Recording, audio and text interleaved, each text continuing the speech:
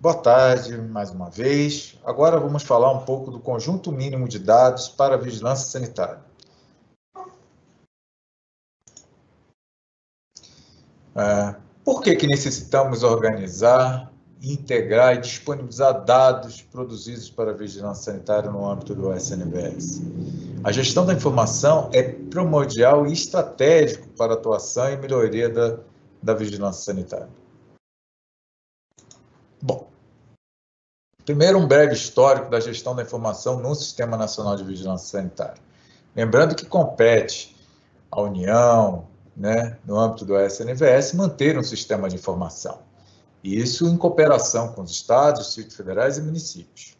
Lembrando que o registro das informações estratégicas elas estão no âmbito do sistema de informação da assistência do próprio SUS. Né? E o modelo de dados foi sempre focado em procedimentos, na tabela de procedimentos do medicamento. Né? Isso é o histórico, né? como é que foi formada a gestão é, na vigilância sanitária, ela basicamente copiou do que via trabalhando na tabela de procedimentos. A tentativa de disseminação, né, de criar um sistema em vigilância sanitária, se inicia com a criação do Sinavisa, do Sistema Nacional de Vigilância Sanitária. Né? E aí a primeira tentativa de criar um sistema e a inviabilidade do desenvolvimento desse sistema de informação, né? E hoje nós temos um foco de definição de informações de estratégias sendo compartilhadas pelo Sistema Nacional de Vigilância Sanitária desde a portaria, né, como prevê a portaria 1996 de 2016. Bem, qual é a situação atual que nós temos na gestão da informação? Hoje, temos vários sistemas né, de base nacional, temos aí o Notivisa, Vigimed, SNGPC, né? muitos sistemas desenvolvidos pelos próprios estados e municípios, né? mas há uma demanda da Anvisa junto aos estados e municípios também feito por preenchimento de planilhas e documentos, formulários eletrônicos. Então, eu tenho uma gama de sistemas, Sinavisa, Notivisa, Vigimed, formulários eletrônicos. Observe que grandes dados e fragmentados, todos eles muitas vezes não integrados. Né? E com isso, uma disseminação de dados, muitos painéis analíticos produzidos pela própria Anvisa e, como já foi relatado, uma grande dificuldade de acesso à base de dados nacionais por parte dos próprios estados e municípios. O que iremos propor, então? Que, que acontece desde 2016? É propor um conjunto mínimo de dados em vigilância sanitária. É um novo modelo operacional para que todos possam ter acesso a uma grande base de dados e essa base de dados ser compartilhada com todos os entes do SNVS. Então, o conjunto mínimo de dados é um conjunto essencial e estratégico de informações que possibilite o planejamento, a orçamentação, a gestão e avaliação e controle dessas atividades de vigilância sanitária. E ele vai estar baseado no registro de situação sanitária. Então, para obter esses dados, eu necessito estar trabalhando o compartilhamento de informações da situação sanitária de estabelecimentos, produtos e serviços. Isso é obtido a partir do processo de vigilância sanitária, que é as informações de uso interno de cada unidade né, de modo a que dá apoio a fiscais, inspetores, especialistas na execução das suas atividades. Bom, como esse novo modelo se estrutura?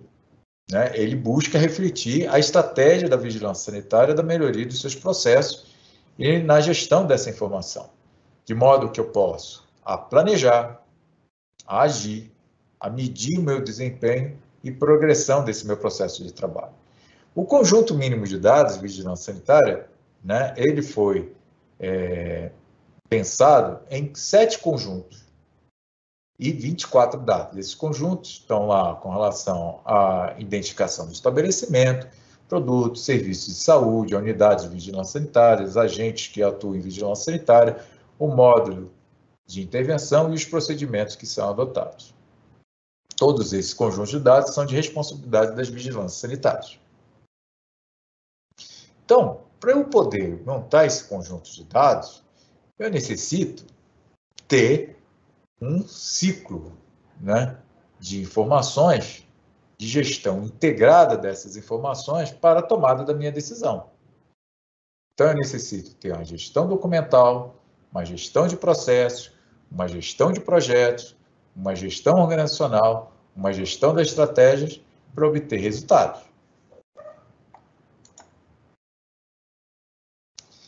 Como você vai buscar essas informações? Então, eu necessito saber qual é a necessidade de informação para a vigilância sanitária.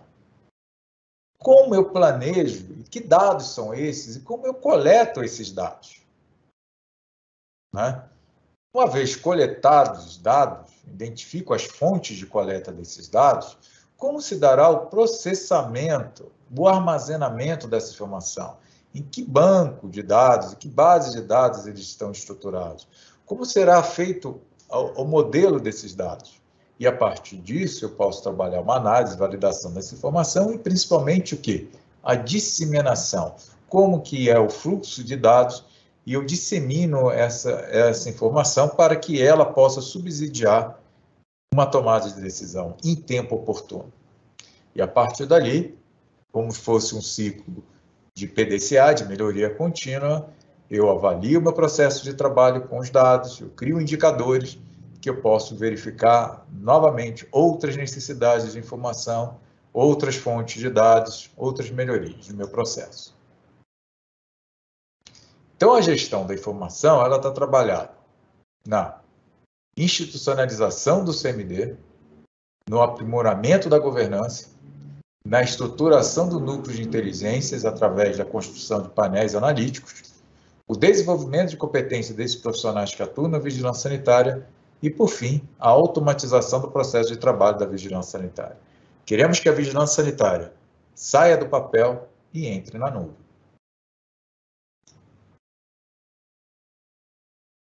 Para isso, eu necessito identificar e processar mais uma vez a necessidade da informação, planejar a coleta e tratamento de dados, né, analisar e validar e disponibilizar os dados em painéis analíticos.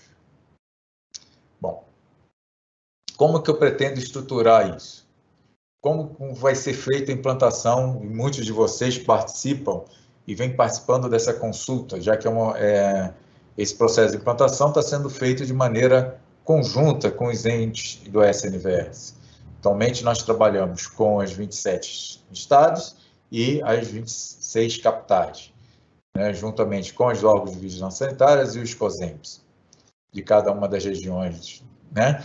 E aí, estamos trabalhando um catálogo de questões gerenciais.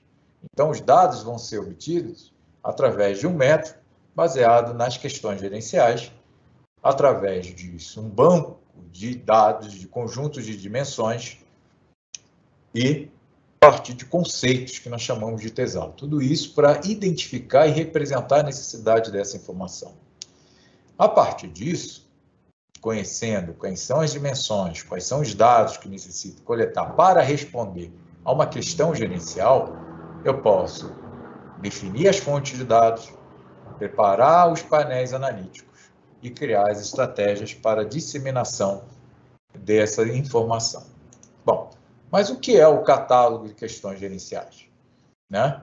São as perguntas que eu necessito, quais são as questões que eu preciso responder para atender a, esse, a, a ação estratégica que eu preciso adotar, a minha tomada de decisão. Para isso, eu preciso definir, né, harmonizar alguns conceitos, como agente de vigilância sanitária, arrecadação, intervenção, notificação, unidade de vigilância sanitária. Como que eu construo, então, essa questão gerencial que vai nortear o meu conjunto mínimo de dados? Ele apresenta uma grandeza né, e o objeto a que se refere. E a partir daí eu defino as minhas dimensões e seus respectivos grãos. Exemplo. Qual é a quantidade de notificações de produtos sujeitos à vigilância sanitária? Observe que então eu estou trabalhando qual é a grandeza, o que eu quero medir e qual é o objeto que eu quero medir, a que me interessa. Então, notificações é o meu conjunto, é o meu conjunto que eu defini como conjunto mínimo de dados. E a partir daí, as dimensões, período de tempo, produto, unidade, eles vão definir as dimensões para responder a essa minha pergunta. Então, qual é a quantidade de notificações que eu teve no ano de medicamentos na Bahia? São perguntas que eu posso fazer e, a partir dessas perguntas, é, dessa combinação, eu posso ter respostas que possam orientar, informações que vão orientar a minha tomada de decisão, o meu planejamento. Então, uma visão representa uma faceta da questão gerencial. Então, qual é a quantidade de notificação de produtos da vigilância sanitária no ano de 2020, né, de medicamentos, né, que foram notificados no Amazonas. Né? Então, eu posso medir quantidade de notificações nos últimos três meses, eu posso medir a quantidade de notificações de produtos no ano de 2022 no Rio de Janeiro. Serve que eu posso fazer diferentes tipos de combinações e obter diferentes tipos de resultados que vão nortear a minha tomada de decisão e o meu planejamento. Mas para isso eu preciso definir conceitos. E aí vem a necessidade de definir glosários nacionais, tesauros, ontologias, que é a definição desses termos. O que vai ser notificação? O que é uma intervenção? O que significa porte de empresa? São importantes para né, a organização e a padronização da minha gestão da minha informação. A questão gerenciais e identificação de fonte. Então, para fazer meu processo, para eu poder responder essas, gestões, essas questões gerenciais, eu necessito identificar que dados eu necessito. Né? Foi a partir das questões eu identifico os dados, né? o meu conjunto de dados, mas eu preciso identificar a fonte onde consigo obter, coletar esses dados.